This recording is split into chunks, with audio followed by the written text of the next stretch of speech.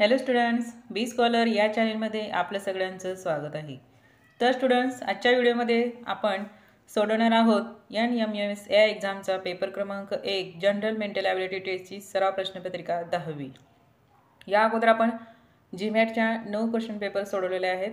त्यांच्या जर तुम्हाला लिंक्स पाहिजे असतील तर तुम्ही या व्हिडिओच्या डिस्क्रिप्शन बॉक्समध्ये पाहू शकता.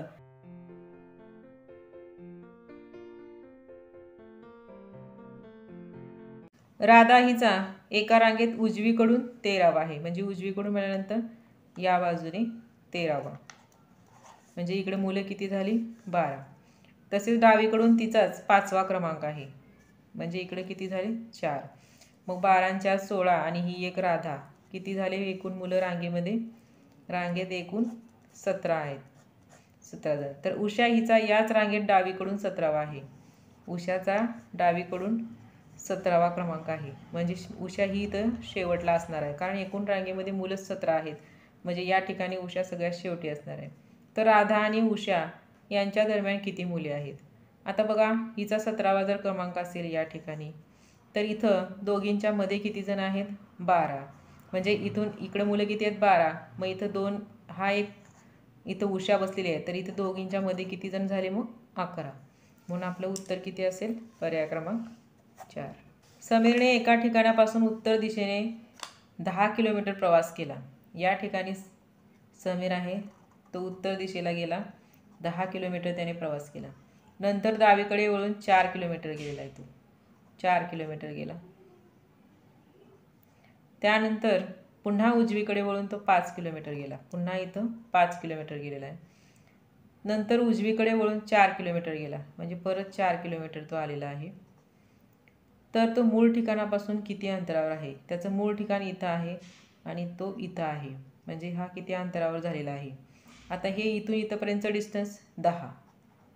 त्यानंतर हे जे डिस्टन्स असेल तेवढंच इकडचं असणार आहे. म्हणजे किती? दहा अधिक पाच. बरोबर पंधरा किलोमीटर अंतरावरती तो आहे. बघा पर्यायामध्ये. पर्याय क्रमांक एक. काही विद्यार्थी खेळाडू आहेत काही विद्यार्थी लेखक आहेत काही विद्यार्थी चित्रकार आहेत तर खालील आकृत्यापैकी कोणती वरील आकृती वरील माहिती दर्शवते? तर सगळे काही काही असल्यामुळे आकृती क्रमांक तीन हे उत्तर आपलं येणार आहे. ही वेन डायग्राम त्या ठिकाणी योग्य असेल.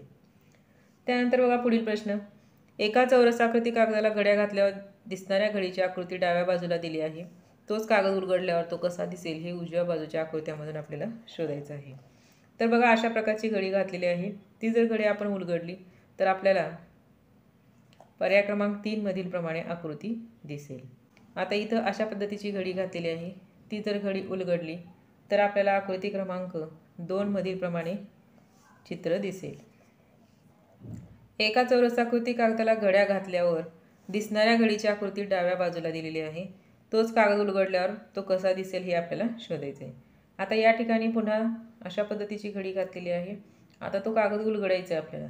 तर ती कशी दिसेल? तर पर्याय क्रमांक चारमधील प्रमाणे दिसेल. दिलेली आकृती प्रथम घड्याळाच्या काट्याच्या दिशेने नव्वद अंशातून फिरवली तर तिची आरशातील प्रतिमा दिलेल्या पर्यायामधून निवडायची आहे. ही आकृती आपण नव्वद अंशामध्ये फिरवलेली आहे. ती पण घड्याळाच्या दिशेने म्हणजे या डायरेक्शनमध्ये आपण फिरवली. तर तिची आरशातील प्रतिमा कशी दिसेल? तर तिची आरशातील प्रतिमा ही पर्याय क्रमांक तीनमधील प्रमाणे दिसेल. कारण ती नव्वद अंशामध्ये फिरवल्यावर अशी एक नंबरप्रमाणे दिसेल आणि तिच्या आरशातील प्रतिमा ही तीन नंबरची आकृती असेल. पुढील प्रश्नात गुंतागुंतीची आकृती दिली आहे. त्यापैकी कोणती आकृती गुंतागुंतीच्या आकृतीमध्ये दडलेली आहे ते आपल्याला शोधायचं आहे आता यामध्ये पर्याय क्रमांक तीनमधील आकृती दडलेली आहे. कुठे असेल ती आकृती बघा. तर या ठिकाणी आपल्याला ती आकृती दिसते. कुंदाचा जन्म बावीस नोव्हेंबर रोजी झालेला आहे.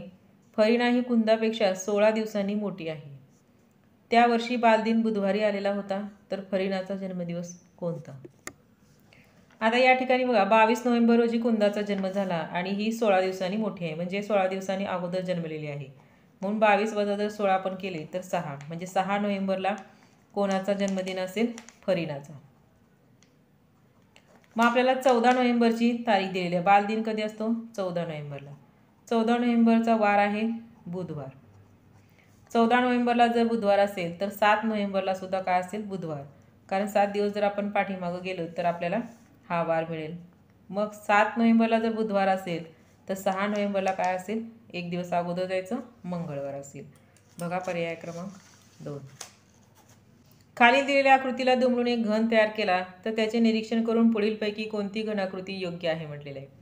आता या ठिकाणी बघा अशा आकृती ज्या आहे तो ह्या जे दोन बाजू असतात त्या एकमेकाच्या विरुद्ध असतात. या दोन बाजू एकमेकाच्या विरुद्ध असतात आणि ही आणि ही बाजू एकमेकाच्या विरुद्ध असते. म्हणजे हा गोल आणि हा रेषा एकमेकाच्या विरुद्ध आहेत. मग असं कोणत्या घनाकृती दिसते पहिल्या आकृतीमध्ये तर हे दोन्ही लगत दिले आहेत म्हणजे हा ऑप्शन येणार नाही. इथं तिन्हीही कोरेस भाग दिलेले आहेत. पण दोन भागच कोरे असायला पाहिजे होते जे समोरासमोरचे असतील. लगतचे दोन भाग जे आहेत ते कोरे असणार नाहीत. मग इथं जे आहे त्या ठिकाणी बरोबर दिलेलं आहे. दोन लगतचे दिलेले आहेत इथं आणि हा एक दिलेला आहे. आणि हितही लगतचे दिले ते दोघं पण हे अपोजिट आहेत. म्हणजे पर्याय क्रमांक तीनच्या आकृती या ठिकाणी गडी घातल्यानंतर योग्य दिसेल. खालील प्रश्नात एक अपूर्ण आकृती दिलेली आहे. दिलेल्या पर्यायातून एक पर्याय असा निवडा की अपूर्ण आकृती योग्यरित्या पूर्ण होईल. बघा आता ही आकृती पूर्ण होण्यासाठी कोणत्या आकृतीचा पर्याय येईल? तर पर्याय क्रमांक दोनमधील आकृती त्या ठिकाणी योग्य बसेल. त्र्याहत्तर आणि चौऱ्याहत्तरसाठी सूचना अक्षराची किंवा अंकांची लयबद्ध मांडणी दिलेली आहे. या मालिकेमध्ये गाळलेले अक्षर किंवा अंक त्याचप्रमाणे एका पर्यायात आहेत ते आपल्याला निवडायचे आहे. आता त्र्याहत्तरच्या जर या अंक मालिकेचं म्हणजे लयबद्ध मांडणीचं जर आपण निरीक्षण केलं तर यामध्ये योग्य पर्याय बसणार आहे पर्याय क्रमांक दोन. इथं डी बसेल ए डी बी सी ए. त्याच्यानंतर D B. D A D B C A D B C असा ग्रुप आहे. त्यानंतर बघा इथं ए येईल.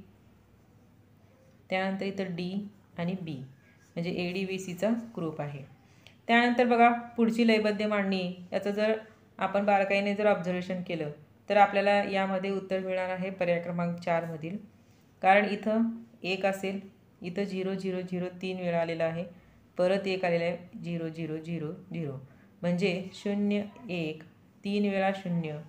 परत एक अशा पद्धतीने त्याचा क्रम दिलेला आहे. म्हणून आपली आकृती हे पर्याय आपला चार क्रमांक असेल. पंच्याहत्तर ते सत्याहत्तरसाठी सूचना आहे. एका घणाच्या भिन्न स्थिती खालील आकृतीत दर्शवल्या आहेत. त्यातील अंकाचे निरीक्षण करून पुढील प्रश्नांची उत्तरे आपल्याला द्यायची आहेत. आता यापासून अगोदर आपण एक आकृती तयार करूया. बघा या ठिकाणी सगळ्यात जास्त वेळा अंक आपल्याला दिसतो आहे. चार आणि सहा. त्यामुळे चार आणि हे दोन आणि सहा. म्हणून आपण काय करूया या ठिकाणी? दोन हा मध्यभागी घेऊया. त्यानंतर दोनच्या उजव्या बाजूला चार घेऊया. वरच्या बाजूला तीन घेऊया. दोनच्या डाव्या बाजूला सहा आणि लोनच्या एका बाजूला लगत एक आहे. म्हणजे अशा पद्धतीनं हा घन तयार झाला. आता एकच रांक राहिलेला आहे. तो कोणता? पाच. पाच इथं असेल.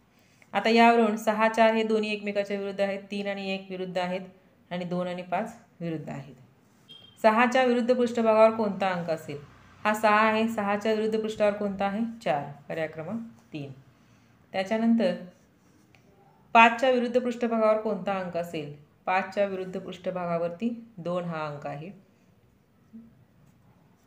पर्याय क्रमांक दोनच. आकृती क्रमांक तीनच्या तळाच्या पृष्ठभागावर कोणता अंक असेल? आकृती क्रमांक तीन.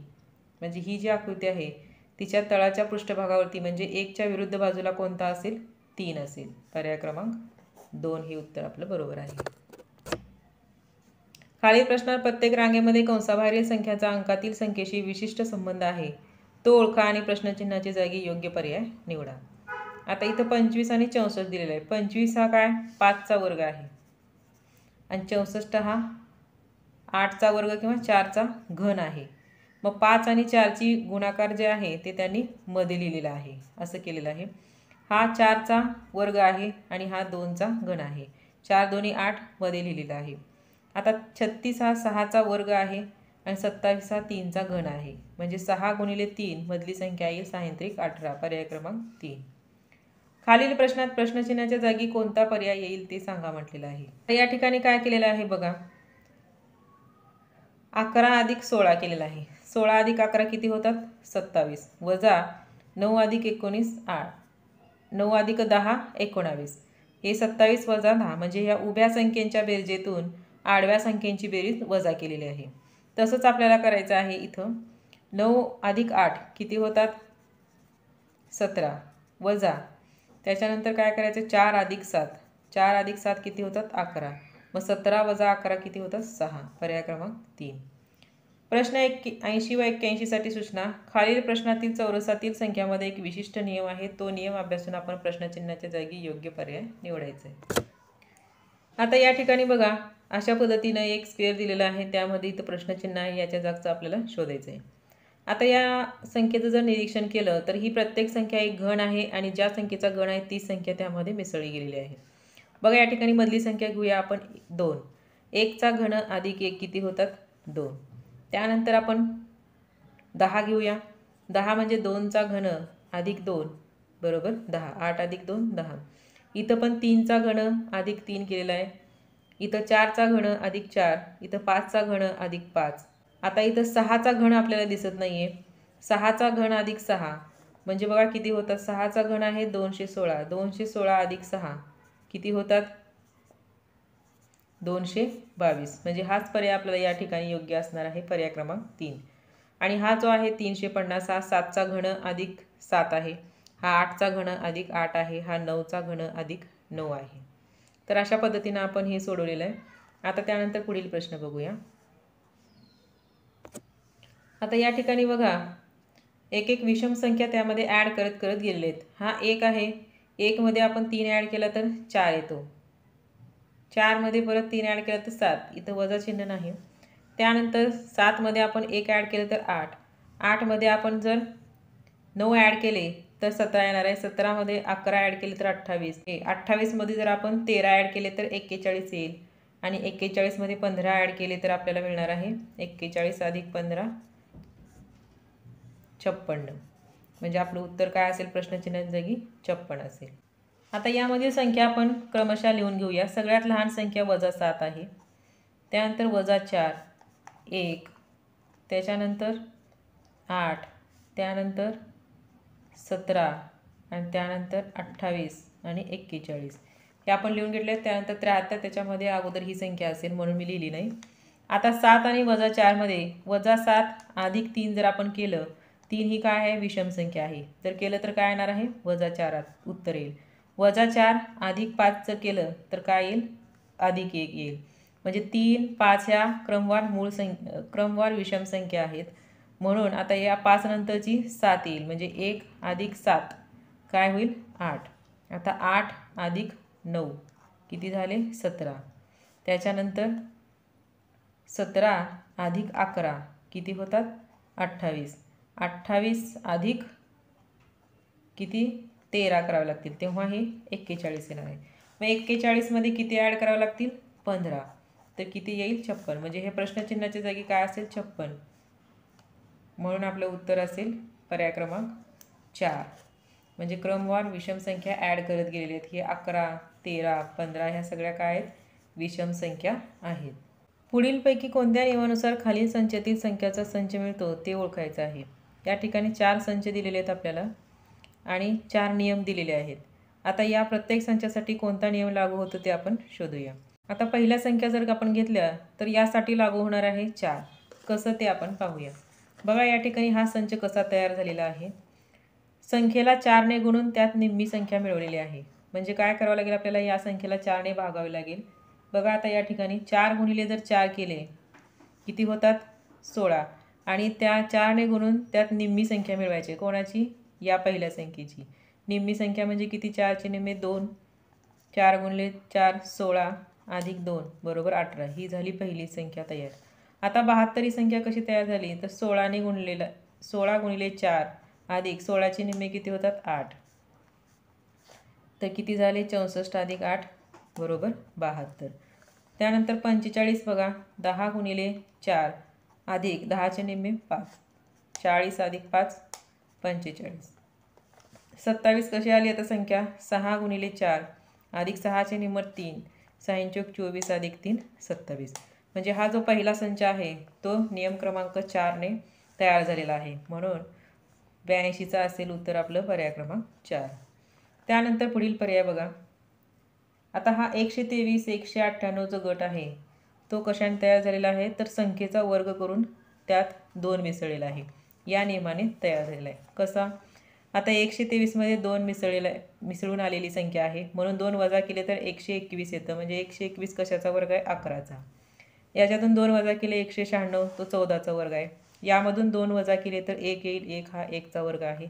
सहासष्टमधून दोन आपण वजा केले तर चौसष्ट. चौसष्ट हा सुद्धा आठचा वर्ग आहे. म्हणजे नियम क्रमांक तीन हा प्रश्न क्रमांक त्र्याऐंशीसाठी लागू होतो.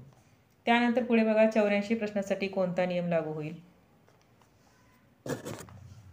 आता यासाठी नियम क्रमांक एक लागू होणार आहे. कसा तो पहा. संख्येला अकराने गणून तीन वजा करा. म्हणजे तीन अगोदर ॲड करूया आपण. आठ अधिक तीन जर केले तर किती होतात? अकरा. मग अकराला जर अकराने गुणले तर किती? भागले तर किती येणार आहे? एक येईल. म्हणजे आठ हे उत्तर बरोबर आहे. तसंच एक्केचाळीसमध्ये आपण तीन जर मिसळले तर किती होणार आहे? चव्वेचाळीस. म्हणजे अकराला चारला जर आपण अकराने गुणलं तर ते आणि तीन वजा केले तर एक्केचाळीस येईल. अशा पद्धतीने हे आलेला आहे म्हणून एक हा नियम हा चौऱ्याऐंशी संचासाठी लागू होतो. आता राहिलेलाच एकच संच आहे तो म्हणजे दोन नंबरचा तो या पंच्याऐंशीसाठी लागू होईल. काय आहे? संख्येचा वर्ग करून त्याची निंपट करायची आहे. संख्येचा वर्ग करून त्याची निंपट केलेला हा संच आहे. म्हणजे पडताळणी करायचं असेल तर आपल्याला काय करावं लागेल याचा? याची दुप्पट करावं लागेल अगोदर. आणि ती काय असणार आहे? वर्ग असणार आहे. याची दुप्पट जर केली तर एकशे चव्वेचाळीस येतं हा बाराचा वर्ग आहे. याची दुप्पट केली तर चारशे तो वीसचा वर्ग आहे. तर हा जर पन्नास आहे पन्नासचा जर वर्ग आपण केला शंभर तो दहाचा वर्ग आहे. जर ए हा बीच्या वायव्येस तीस मीटर अंतरावर असेल आता या ठिकाणी ए आहे. ए हा बीच्या वायव्येस म्हणजे बी इथं असेल तर हा ए या ठिकाणी असेल तो तीस मीटर अंतरावर आहे. आणि सी हा बीच्या ईशान्येश आहे. सी हा बीच्या ईशान्येस आग्नेय नैऋत्य वायव्य ईशान्य. आणि तो सुद्धा तीस मीटर अंतरावरच आहे. तर सी हा एपासून कोणत्या दिशेस आहे? पूर्वेला. या बाजूची दिशा पूर्व. म्हणून आपलं उत्तर असेल पर्याय क्रमांक एक. खाली दिलेल्या मनोरातील संख्यांच्या मांडणीचं निरीक्षण करून खालील प्रश्नाची उत्तरे आपल्याला लिहायची आहेत. बघा या ठिकाणी ओ टी जे कुठं आहे? ओ टी जे त्याचा संबंध आहे पी क्यू बीशी बघा या ठिकाणी पी क्यू बी कुठे आहे? पी क्यू आणि बी आता एन एस एमचा संबंध शोधायचा आहे आपल्याला. एन एस यम तर त्याचा संबंध कशाशी असेल? यम यल आणि हा यू पर्याय क्रमांक तीनशी. अशा पद्धतीने ही डायग्राम तयार होते. यन सी के आणि एम सी पी आता बघा यन सी के या ठिकाणी यन सी आणि के त्याचा संबंध आहे यम सी पी सी म्हणजे यम सी पी म्हणजे क्रॉसमध्ये आहेत. तसं पी ई आयचा संबंध बघा. पी ई आय असा आहे. तर त्याच्या क्रॉसमध्ये काय येईल? के ई आर पर्याय क्रमांक चार. एका सांकेतिक लिपीत एक्झाम हा शब्द असा लिहिला जातो आणि टेस्ट हा शब्द असा लिहिला जातो. आता आपण यांचे अगोदर अल्फाबेट घेऊया. या ठिकाणी ई घेतला. एक्स ए आणि एम इथं किती आहेत? टी आहे. ई तर इथं घेतलेला आहे. एस आणि परत टीच आहे. आता यांच्यासाठी आपण अंक कोणता आहे ते ठरवूया. आता ई या ठिकाणी आहे या ठिकाणी आहे. दोघांमध्ये कॉमन आहे पाच. म्हणजे ईसाठी काय असेल? पाच. टी दोन वेळा आहे. म्हणून या ठिकाणी टीसाठी कोणता आलेला आहे? दोन वेळा सात. मग उरला काय आता? टेस्टमधला एस मग एससाठी काय असेल? सहा. आता एक्स ए एमसाठी काय आहे बघा ते अनुक्रमे आपण घेऊया. कारण त्याची आपल्याला कुठेही लिंक लावता येत नाही. म्हणून एक्ससाठी तीन घेऊया. एसाठी यम घेऊया. एक घेऊया आणि यमसाठी आठ घेऊया. तर अशा पद्धतीने आपण अक्षरांचे सांकेतिक अंक घेतलेले आहेत. आता स्टीमसाठी बघा. यससाठी काय आहे? इथं सहा. टीसाठी काय आहे? सात. E ईसाठी काय आहे? पाच. एसाठी काय आहे? एक. आणि यमसाठी किती आहे? आठ. सहा सात पाच एक आठ. असा पर्याय कोणता आहे? पर्याय क्रमांक एक. तर अशा पद्धतीने आपण उत्तरं काढायचे आहेत.